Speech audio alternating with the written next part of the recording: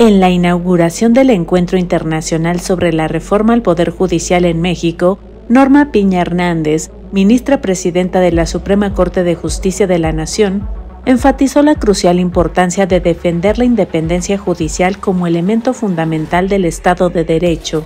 Advirtió sobre las graves implicaciones de vulnerar este principio, subrayando que la independencia judicial no es un privilegio de los jueces, sino un derecho humano esencial para toda la sociedad, especialmente para los grupos más vulnerables.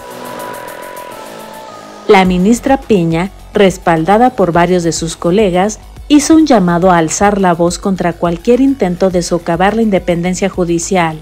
Destacó que la Constitución mexicana es un sistema de vida orientado al mejoramiento constante del pueblo y que la independencia judicial forma parte integral de este patrimonio nacional y universal. El encuentro internacional servirá para examinar desde diversas perspectivas la relevancia de este principio en la garantía y protección de los derechos humanos. Enfatizó la necesidad de un diálogo inclusivo y reflexivo sobre la reforma judicial propuesta. La ministra Piña instó a todas las autoridades a asumir la responsabilidad compartida de salvaguardar los valores del Estado constitucional y democrático de derecho, agradeció la participación de legisladores de diversos partidos políticos, subrayando la importancia de un debate abierto y constructivo sobre este tema crucial.